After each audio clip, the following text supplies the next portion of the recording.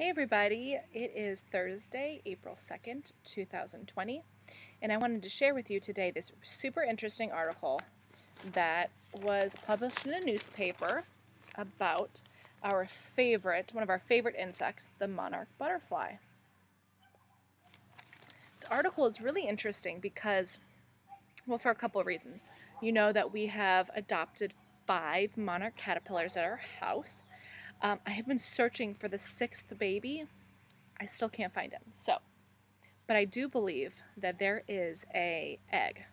So I'm going to watch him, see if he hatches. Okay, so more details there. But I thought this uh, uh, article would be interesting to share with you today because it talks about our two different major species of monarchs. First of all, we have the western monarch butterfly and the eastern monarch butterfly. So the eastern monarch is the monarch that you and I know. It's the type of uh, caterpillars that we're currently raising. And those monarchs are the ones that travel from uh, Canada, Ohio, New England area, our area in the United States, to Mexico. They're the ones that migrate. Now, the western um, monarch butterflies just stay along the western part of the United States, um, like along basically the California coast. Okay, they breed as far in um, in California and out, actually out towards Idaho, even in the farthest reaches. So the western monarch butterflies are seeing the same decline in population numbers that our eastern monarch butterflies are as well.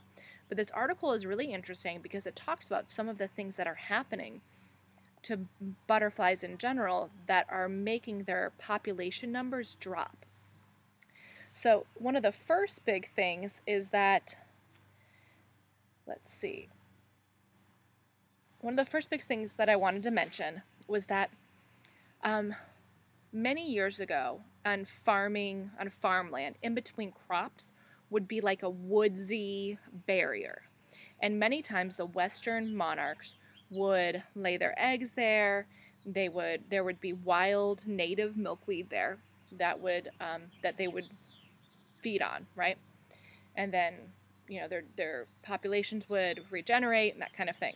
So now farmers, their croplands are going directly to the edge of the barrier, edge of the land basically, and there's no woodsy barriers. So their habitat is really becoming sparse.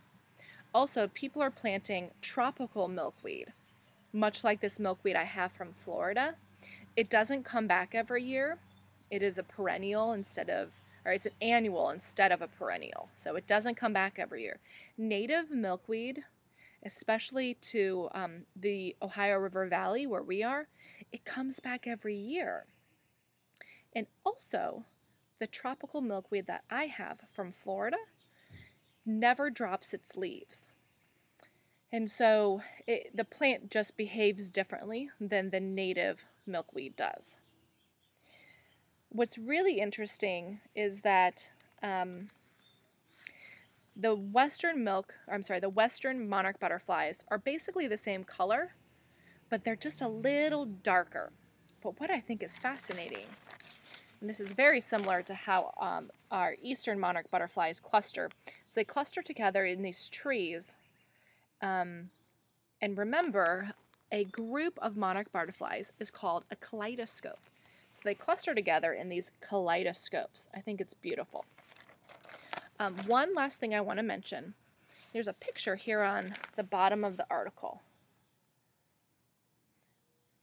And it kind of looks like a painting, doesn't, doesn't it?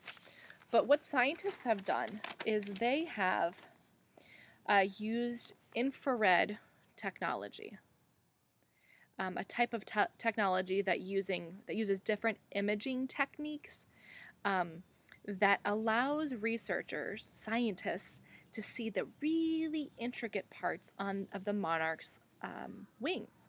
And what they found is that there are cells that live on the wings that allow them to remain cooler than other parts of their body and other breeds of butterflies. So it's just something that the butterfly has um, developed over time to be to become more resistant to temperature changes, they found that uh, where the western monarch butterflies live, temperatures in the winter have risen around 2 degrees Celsius every year for the past few years. So it's very interesting that these monarchs have made such kind of interesting adaptations to their way their wings are constructed that now allow them to um, resist the feeling of heat, to have the heat just kind of wick off of them because of these interesting cells. So I just thought this interesting was fat. This article was fascinating, and I wanted to share it with you today. We will continue to track the um, life cycle of our eastern monarch butterflies together. I do feel like I need to feed them a little bit more today. I already fed them this morning, but they are hungry, hungry caterpillars. And so I'm going to pick some more um, of our milkweed and bring it inside to their habitat to make sure that they are, you know, have lots of food to eat and they are healthy and happy little caterpillars. So thank you so much. Enjoy your day. I will see everyone tomorrow. Bye.